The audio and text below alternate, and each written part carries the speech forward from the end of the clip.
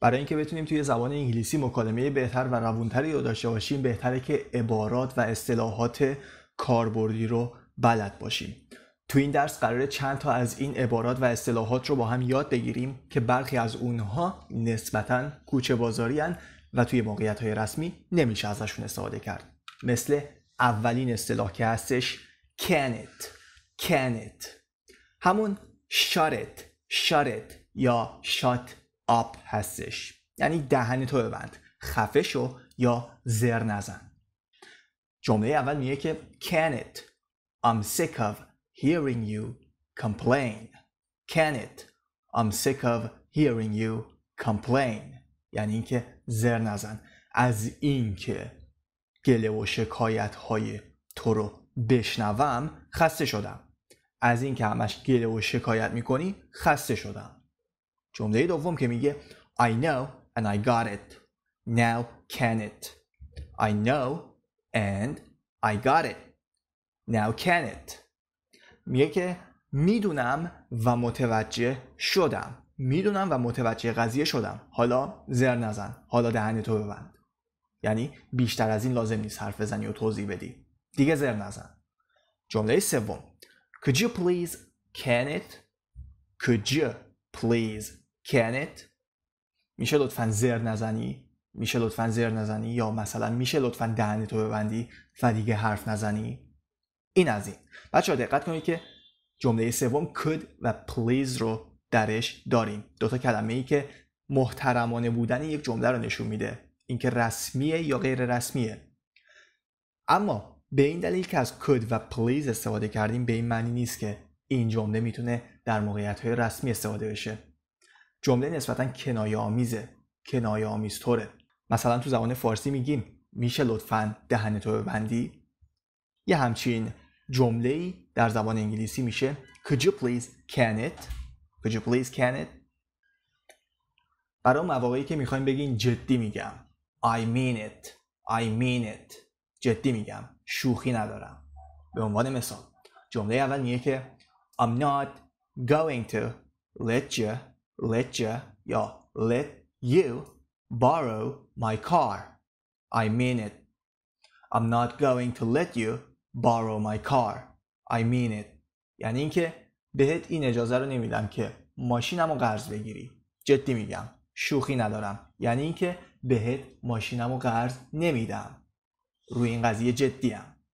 جمله دوم که میگه This is not something that you want to play with. This is not something that you want to play with. I mean it. I mean it. یعنی این چیزی نیست که تو بخوای باهاش ور بری یا باهاش بازی کنی. جدی میگم. شوخی ندارم. جدی میگم. Drop it. Drop it. عبارت یا اصطلاحی که برای مواقعی که می‌خوای بگی تمومش کن. یا مثلا یک فردی در مورد یه موضوعی همش حرف می‌زنه همش توضیح میده و اصلا ساکت نمیشه. تو می‌تونی بگی drop the subject. Drop the subject. یعنی اینکه آقا این قضیه رو دیگه تمومش کن. بس دیگه در موردش حرف نزن. جمله اول میگه که Mary wished he would just drop it. Mary wished he would just drop it.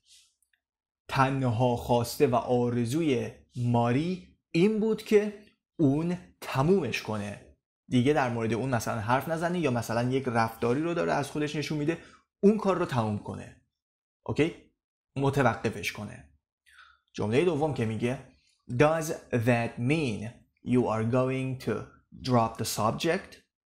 Does that mean you are going to drop the subject? آیا این به این معنیه که تو دیگه در مورد این موضوع حرف نمی‌زنی؟ یعنی اینکه تمومش می‌کنی دیگه اوکی؟ دیگه در مورد این موضوع حرف نمی‌زنی؟ به این معنیه؟ این از این Zip it شبیه به اصطلاح اول هستش it یعنی دهن تو ببند zip it دهن تو ببند جمله اول که میگه just zip it I'm tired of listening to you complain just zip it. I'm tired of listening to you complain. یعنی اینکه فقط دهن تو ببند. از این که به گله و شکایت تو گوش کنم خسته شدم. جمله دوم که میگه she angrily she angrily told him to zip it. او با عصبانیت بهش گفت که دهنش رو ببنده. ولش کن بی خیال. شاید یک عبارت براش بلد باشین؟ مثلا never mind never mind. اما یک عبارت دیگه این هستش skip it skip it. یعنی ازش بگذر دیگه. یعنی ازش بگذر. بی خیال. ولش کن. مثل جمله اول که میگه skip it. It is not important anyway. Skip it. It's not important anyway. یعنی اینکه ولش کن. بی خیال. به هر حال قضیه مهمی نیست. به هر حال مهم نیست. جمله دوم. Sorry. What were you saying? What were you saying? و نفر دوم میگه که آه skip it. Just bring me the key. آه skip it. Just bring me the key. میگه که ببخشید چی داشتی می‌گفتی؟ عذر می‌خوام چی داشتی می‌گفتی؟ و نفر دوم میگه که آه بی خیال ولش کن. فقط کلید رو برام بیار. فقط کلید رو برام بیار. اصطلاح بعدی. Blow it. Blow it. گندش بزنن یا به معنی گند زدن هم میشه. یعنی میشه به عنوان فعل هم ازش استفاده کرد. جمله اول که میگه آه blow it. I've forgotten to invite Jack to the party. آه blow it. I've forgotten to invite Jack to the party. یعنی اینکه آه گندش بزنن. از اینکه جک رو به مهمونی دعوت کنم یادم رفت. یادم رفت که این کار رو انجام بدم. یا یادم رفت که جک رو به مهمونی دعوت کنم. جمله دوم میگه که I really blew it. بچه blew حالت گذشته blow هستش. I really blew it when I turned down that job offer didn't I? I really blew it when I turned down that job offer didn't I?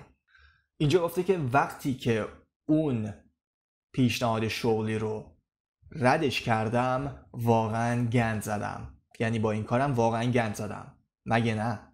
مگه نه؟ پررو نشو. Don't push it. Don't push it. یعنی پررو نشو. جمله اول میگه که I'll help you with your project but don't push it. I've got my own things to be working on. I'll help you with your project but don't push it. I've got my own things to be working on. یعنی اینکه من تو پروژه‌ای که تو داری بهت کمک می‌کنم یه دستی بهت میرسونم اما دیگه پررو نشو. من خودم هم کلی کار دارم که یا کلی پروژه دارم که روشون باید کار کنم. کلی کار دارم که باید به اونا برسم عبارت بعدی I don't buy it یعنی باور نمی کنم جمله اول She'll never buy that story about you getting lost She'll never buy that story about you getting lost. اون هیچ وقت هیچ وقت داستان این که تو گم شدی رو باور نمی‌کنه. هیچ وقت باور نخواهد کرد. جمله دوم که میگه The teacher didn't buy my story about the dog eating my homework. The teacher didn't buy my story about the dog eating my homework. معلم داستان من رو که بهش گفته بودم تکالیف خونه من رو یا همون تکالیف مشق شب من رو سگ خورده باور نکرد. باور نکرد این داستان رو.